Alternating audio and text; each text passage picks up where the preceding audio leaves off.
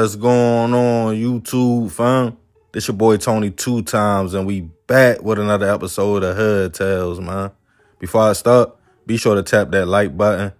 Definitely watch this video to the end to hear the full story and all the details in the case. For the day one fam, y'all already know it's all love. Thanks for tuning back into another episode. If you're new to the channel and you feeling the content, feel free to subscribe. Definitely hit that notification bell so you can be notified every time we drop a new video. Oh yeah, feel free to share the channel with your peoples. Everybody is welcome. Let's get right into the story. Being in your early 20s is an exciting time in life. Depending on what you want out of life, that's the time to grind, stack that money while you are still young with a lot of energy and build towards your future. For a lot of people at that age, you are probably earning a college degree if you choose to go to school, getting ready to go into a career and start this journey we call adulthood.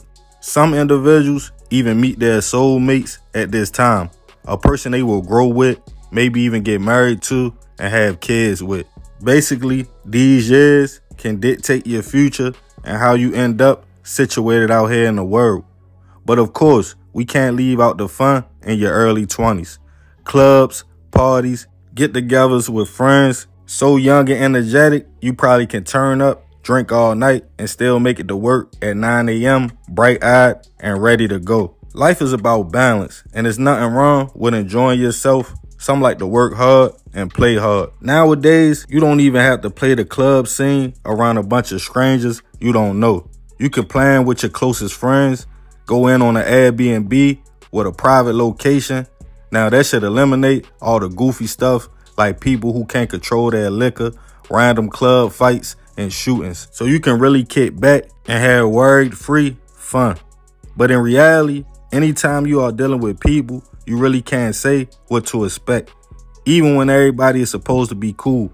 One hothead can turn a regular night into tragedy. And on this episode of Hood Tales, we'll be taking it to Katy, Texas to discuss a case of a fun night out amongst friends that ended in tragedy after one man lost it.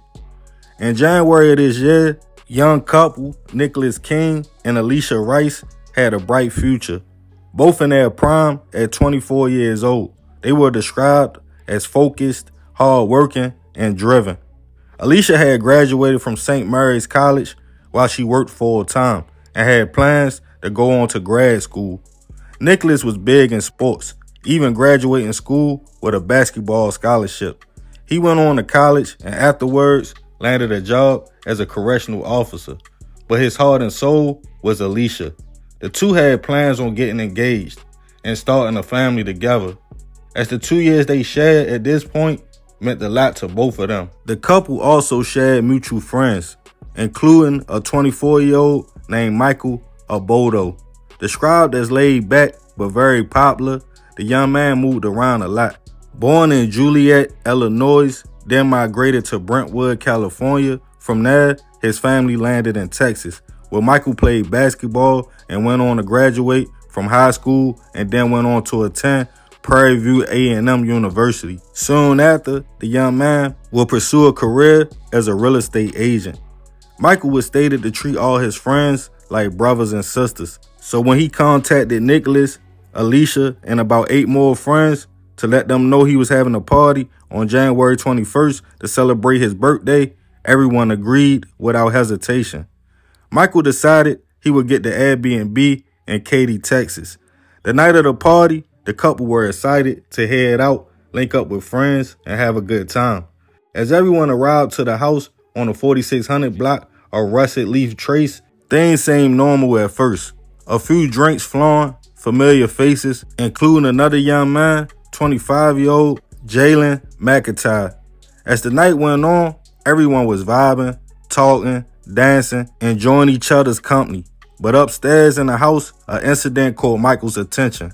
Allegedly, Jalen had a young lady at gunpoint demanding her phone. As she screamed no, Michael peeped what was going on and confronted Jalen. Like, nah, bro, we not doing that. What you got going on? Give her her phone back. Not feeling Michael's approach, Jalen snapped and started letting off shots.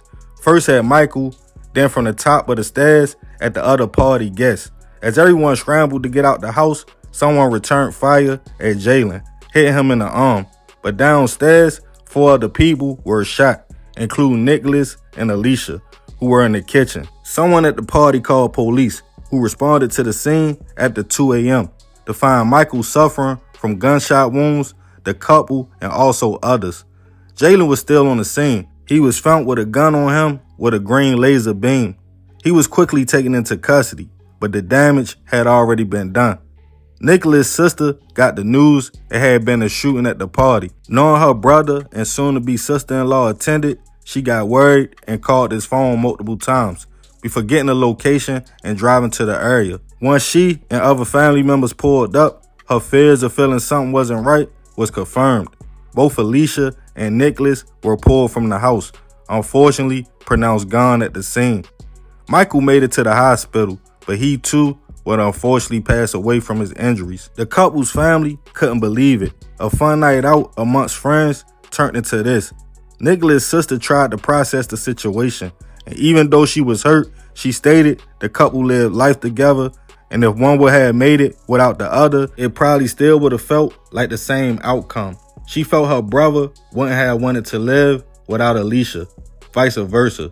So them both losing their lives together reflected the closeness of their relationship. It seemed Michael knew Jalen, so he felt it was his party, so he was responsible for anything that happened, causing him to lose his life after confronting a man about his actions. The other victims will all survive. Jalen was brought to his first court date armed in a sling and read his charges and given no bail, as some felt like he wanted to bring chaos to a friendly get-together.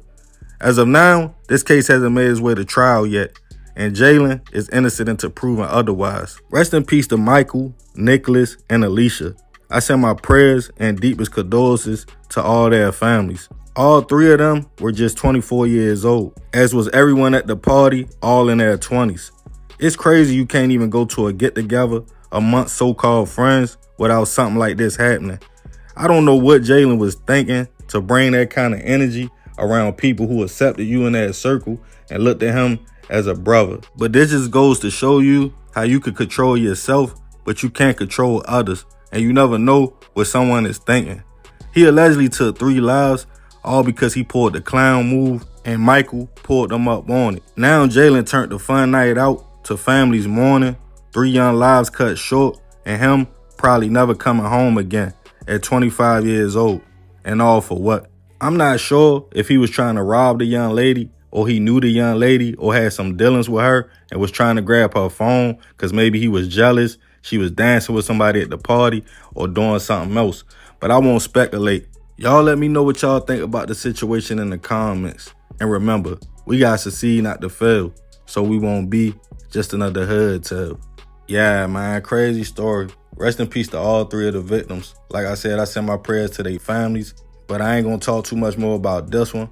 That's another episode of the Hood Tales. I appreciate you if you made it to the end. It's your boy Tony two times. Love fam. I'm out.